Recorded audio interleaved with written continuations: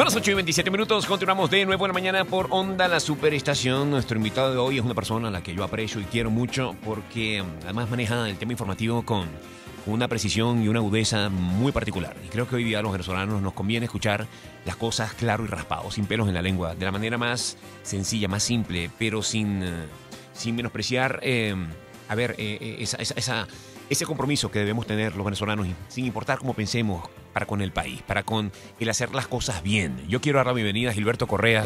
Caramba, Bienvenido, Gilberto, Gilberto, Gilberto. ¿cómo estás? Caramba, muchas gracias, de verdad. Este, sobre todo, eh, quisiera que hablara- ¿vamos a hablar de close-up o de, de fiesta con No, Benevisión? vamos a hablar de, Flash. Vamos a hablar de Vamos a, Flash. comenzar, vamos a comenzar por el topo Gillo. ¿Qué hiciste con él? Bueno, vale, es que ese topo tenía un chaleco al aire que no me gustaba. Yo- Alonso Moleiro, ¿cómo estás, un Alonso? placer, vale, gracias por la invitación. Todos los días te escucho en, en- serio? exactamente en RNA, en Radio Nacional de Venezuela a las 4 y Siempre te oigo. Yo te leo. No, en Unión, Radio. Yo claro. le dije el otro día a Shirley, aquí pasamos el siempre te leo al siempre te oigo. Mira, Alonso. Mira, muchísimas gracias, de verdad, estoy muy honrado por la invitación y decirles al aire que el aprecio es el mismo. Yo, cuando me dijeron que me iban a invitar, pues me alegré mucho.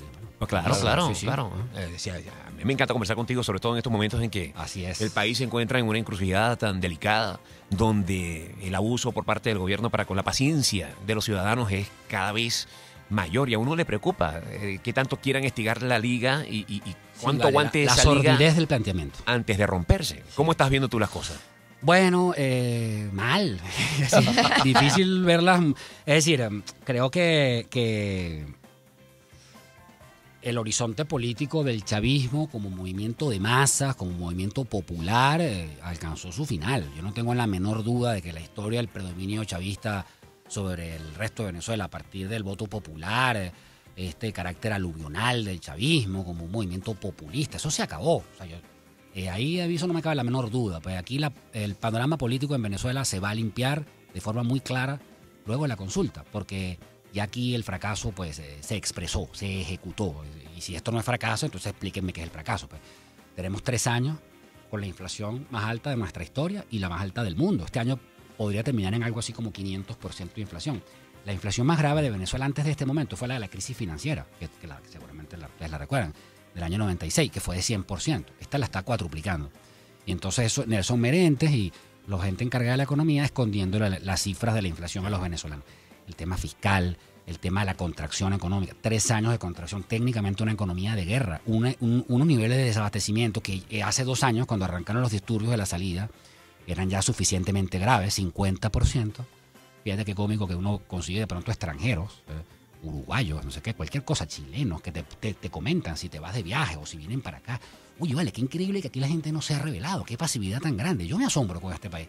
Pero entonces luego vamos a la OEA, entonces nos hacemos, pónganse de acuerdo, dense la mano, vamos a dialogar, como si tú tuvieras un... Tú hablas de la actitud de los países que eh, Sí. apuestan al diálogo. Ah, este es decir, que- eh, Ajá. esta doble cosa, pues por una parte tiene fuera la gente que cuando sale, oye, vale, ¿qué pasa en Venezuela? Pobrecitos, ustedes están buscando para comprar leche y tal. Pero entonces sus gobiernos te tratan como si estuvieras en Finlandia, pues. Sí. Sí. Y te hacen unos llamados totalmente descarados. eh, y aquí pues estoy sangrando un poco con la conducta del gobierno argentino, aunque no creo que de ninguna manera lo de ayer haya sido una derrota. Es un tema que quizás podemos analizar después. Lo que, para centrar un poco la, la respuesta, yo creo que el, el chavismo tiene una situación muy comprometida. Lo que, lo que me preocupa es la hondura del daño y a Venezuela, pues, eh, y la actitud eh, enajenada, demente, irresponsable, pues, o sea, que a un que a la dirigencia de este país, que a la clase dirigente venezolana, entendamos por tal, Diosdado Cabello, José Vicente Rangel, Nicolás Maduro, Elías Agua, Cilia Flores, Darío Vías, toda esa gente ¿no? está viendo que hay disturbios por comida en el Boulevard de Cate, en la antigua Avenida España, y ese mismo día en Petare, en Julián Blanco, en el barrio 5 de julio, por un tema de agua, hay otros disturbios.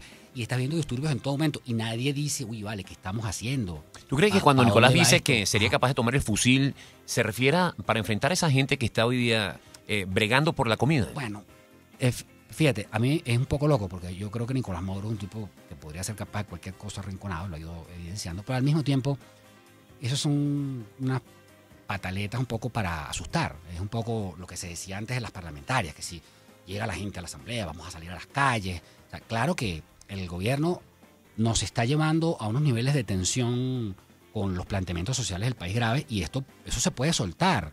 Y lo grave es que entonces se desencadena una situación totalmente indeseable, porque estas situaciones son por definición inestables, y entonces una vez que ocurran, le echen otra vez la culpa a la oposición. Es lo que están buscando. O a- esa, que es lo que están buscando, pues, es decir, porque aquí tú podrías, mm, bueno, hacer varias cosas antes de soltar el poder. Podrías, por ejemplo, eh, hacer una limpieza de gabinete. Podrías incorporar factores que no estaban en el gobierno que eran críticos. Podrías llamar a tus adversarios a Miraflores a intercambiar. Podrías comportarte como un gobierno civilizado, pues, podrías reconocer la Que corrupción. reconoce el error. Eso, que, que recono- Bueno, mira, sí, aquí hay cosas, pues, es verdad, pasa esto. Los precios del petróleo bajaron, pero, pero bueno, fíjense ustedes, la verdad es que, ¿dónde están los dólares de las arcas nacionales? ¿Dónde está el señor Barroso? ¿Ah? ¿Dónde está? ¿Quién dirigió Cadivi? ¿Qué pasó con Cadivi? Nadie nos va a responder por la plata de Cadivi, esa plata es nuestra. Es decir, son unos fondos mil millonarios, son 20 mil millones de dólares. En la Cuarta República se robaba en bolívares. Esta gente institucionalizó el robo en dólares, el robo en divisa. Es decir, Venezuela se quedó, las arcas nacionales se quedaron vacías. Entonces, ¿qué, ¿cómo lo estoy viendo? Bueno, muy complejo. Yo, lo que yo creo es que esta, esta, este deterioro que como que ala todo al mismo sitio debe terminar produciendo, un- la, o sea, la única salida es una ranura electoral, que aquí se produzca un escenario consultivo. Eso se puede producir este año, se puede producir el que viene, lo cual sería menos bueno, o se puede producir en 2019. Yo no sé cuándo se va a producir. Se puede producir este año todavía. Ahorita está hablando con Carlos Ocarí y de, acuerdo a su explicación uno puede terminar interpretando que sí. Pero, y, eh, y la consulta, eh, que es lo fundamental, es lo, que yo, ahí es donde uno podría hablar con cierta seguridad, la consulta va a enanizar al chavismo eh, y va a erosionarlo un buen rato, un buen rato. O sea, yo, yo, eh, y aquí pues los encuestadores que siempre le están regateando méritos a la oposición y están diciendo que, que la culpa es de los dos y tal, esos encuestadores, eh, o sea, cuando, cuando ves sus trabajos te das cuenta, o sea, la, el- la reducción del chavismo como movimiento popular es una cosa brutal, brutal, no vista. Fíjate, Alonso, yo te escucho en las tardes, en las ocasiones que puedo montarme en el carro porque a veces no me dejan, tú sabes que no es mío. Eh, y en una oportunidad tú dijiste que hay como un doble discurso del gobierno. Por un lado, que llaman al diálogo, eh, en caso de Maduro, que vamos a hablar, que vamos a reunir, no sé qué. Y luego hay una posición que parece que es la que domina en el gobierno, que es la de no hablar con nadie, que es la que tiene Diosdado Cabello, que aquí no vamos a negociar con la oposición, no nos vamos a sentar por acá. Y aquí lo único que ustedes tienen es patria. Patria. Patria para todo. Entonces. ¿qué, qué ocurre allí? ¿Quién está atrás de eso? Bueno. Porque dice una cosa al presidente y después parece que hace lo que, lo que lo- la digamos, o No toma la solo, postura eso, de. no solo eso, anoche hizo una comparación con el decreto de guerra-muerte de, de Simón Bolívar, del Libertador, para con la posición que pueda tener algún venezolano en entender que la aplicación de la Carta Democrática puede significar algún tipo de solidaridad, eh, digamos, eh, hasta emotiva por parte de los otros países de, del continente para con lo que está sucediendo. Nadie ha hablado en ningún instante de alguna invasión de algún tipo. Para nada. O sea, además Venezuela firmó ese protocolo. Esto no es ninguna situación impuesta. Venezuela pertenece a la OEA, es firmante de los acuerdos de la Carta Democrática, ha participado en otras decisiones. Pero no digo Venezuela el Estado venezolano, el gobierno, gobierno. chavista. Sí. ¿Entiendes? Promotor, firmante. Entonces, ahora, ahora va a decir que no conoce la carta. La carta no está planteando ninguna. ni- o sea, la Asamblea Nacional recién electa, eh, fruto, digamos, de un mandato expreso clarísimo del constituyente, pues del pueblo venezolano, tiene 17 sentencias en contra. O sea, ¿qué, qué asamblea, qué, qué clase de juego institucional es ese? ¿Qué clase de cómica es esa? Es una cómica. O sea, un país de juguete. Una cosa. eh, por otra parte, para el tema del diálogo. Yo creo que, claro, eh, los movimientos de izquierda ortodoxa siempre obran igual, y así obraban los sandinistas. Hay, un- hay una trinchera inexpugnable que en el sandinismo se expresaban tipos como Tomás Borges, y hay un grupo de hombres moderados, diplomáticos, pues policías buenos como Bernardo Álvarez, que parece que fueran, que no crearan un plato. Tú lo oyes y un señor de una decencia, caramba, eh, no tenemos ningún inconveniente. Vamos a debatir el tema de Venezuela. Aquí estamos nosotros, como si aquí, pues, si este fuera una democracia perfecta, pero eh, y precisamente por eso es que el llamado a diálogo y el acuerdo este diplomático tiene ese sabor tan hueco, porque tú dices, vamos a dialogar, entonces tú dices, ¿y con quién vamos a dialogar? Vamos a dialogar con Diosdado Cabello.